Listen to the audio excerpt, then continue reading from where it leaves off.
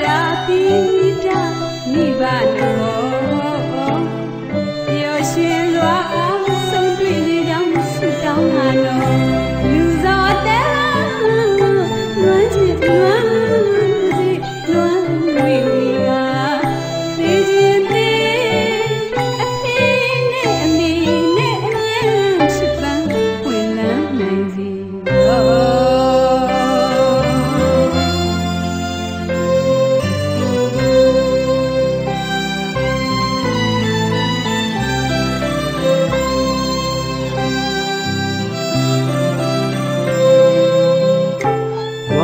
တွေက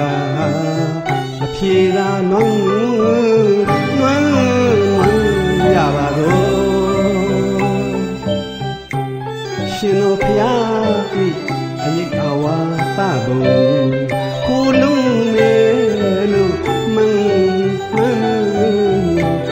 မာတာပိတာမိဘနှစ်ဖို့ပျော်ရွှင်စွာ ဆုံးတွေ့စီရောင်းဆုတောင်းရတော့လူ